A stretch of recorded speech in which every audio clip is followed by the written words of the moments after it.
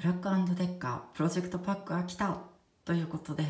えー、早速到着したブラックデッカーのプロジェクトパックを紹介していきたいと思います。皆さん電動ドライバーっていうとまあリョービとかあとボッシュがいいとか、えー、日立だ牧田だ、えー、いろいろあるかと思いますが、えー、電源に困ったことはありませんか？また度重なるバッテリーが不便だと思ったことはないでしょうか？プロジェクトパックの最大のメリットは 12.8V 系ではなくて 10.8V 系のバッテリーを使っている点です。最大のメリットはなんと USB で充電できます。そして、えー、出力も USB がついているので、えー、いわゆる電動工具のバッテリーとして、えー、よいしょ、えー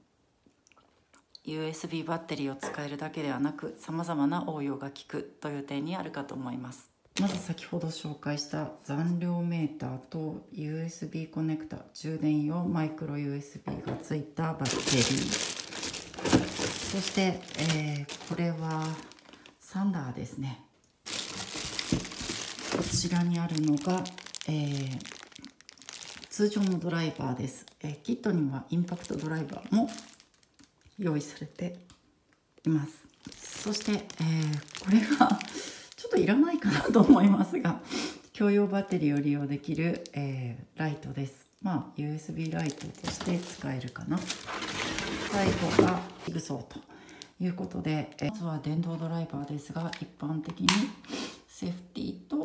晴天逆転がついているタイプ、えー、ビットはこれは欲しかったかな？星型のビットがついていてトルクは5段階に変えることができそうです。次に、えー、サンダーいきましょ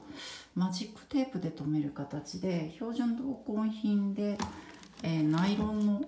ヤスリが23個つい個ついてるのかな？あと同梱品にはジグソーの刃とか USB ケーブルもついています。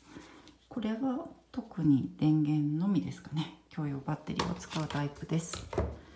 そして、えー、ライトです、えー、まあ LED が、えー、9個ついていて、えー、反射板がついています。まあ同一規格で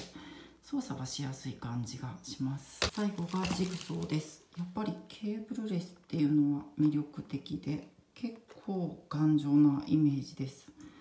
えー、刃の取り付け口があっであとはパワーで調整するのかな？前の方には、えー、ロックのところがあっています。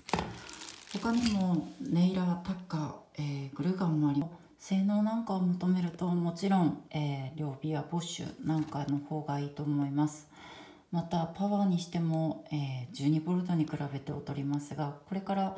新しく電動工具を揃えたいですとかあと、えー、携帯の充電も一緒にやりたい。とか重たい充電器を持たずカジュアルに電動工具を使うにしては良い選択肢だと思います。